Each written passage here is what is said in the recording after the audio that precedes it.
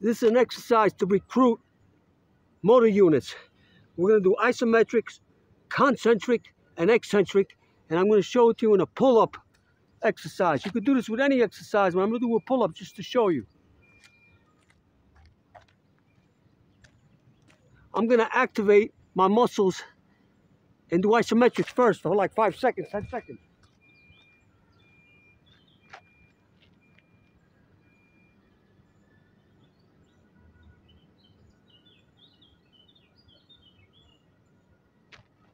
That's isometric.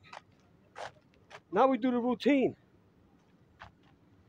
All the way up, slow down, explode up, slow down, explode up to failure. Full range of motion.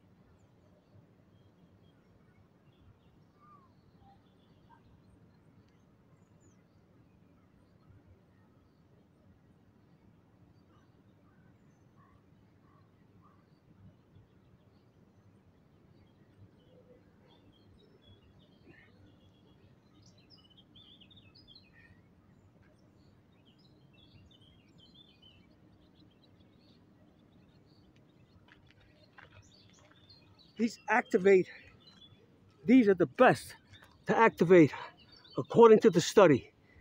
You could do this with any exercise. I just demonstrated with pull-ups.